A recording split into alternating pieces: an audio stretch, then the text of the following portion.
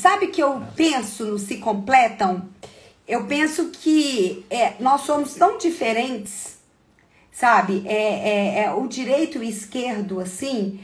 Mas, cara, eu não sei viver sem ele. Não sei.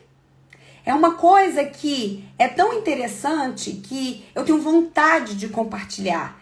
Eu quero compartilhar as coisas com ele. Eu tenho os meus momentos, eu tenho a minha individualidade, ele tem a individualidade dele. E a gente tem que respeitar isso. E no nós é muito gostoso estar junto. Eu acho que pode se completar nisso.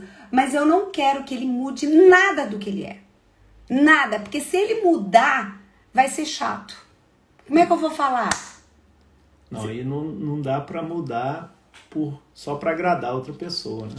É. É difícil manter uma mudança que não é natural. Então eu acho que isso é importante. Tem que. A gente não muda.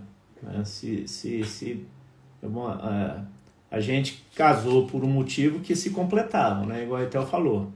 Então ninguém, desde o início, eu nunca fiz algo só para agradar ela na frente dela, sendo que eu ia fazer diferente em outro lugar. Nunca fiz isso.